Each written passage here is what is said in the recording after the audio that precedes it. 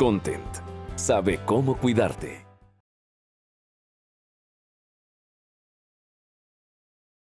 Tenemos varios factores que afectan la pérdida de la salud en el adulto mayor. En primer lugar tenemos la pornifarmacia, que es el consumo aumentado de medicamentos. En segundo lugar tenemos el manejo inadecuado de medicamentos y instrucciones dadas por los médicos. También tenemos el incremento de los costos y finalmente tenemos un proceso de falta de prevención en salud en el adulto mayor. Content. Sabe cómo cuidarte.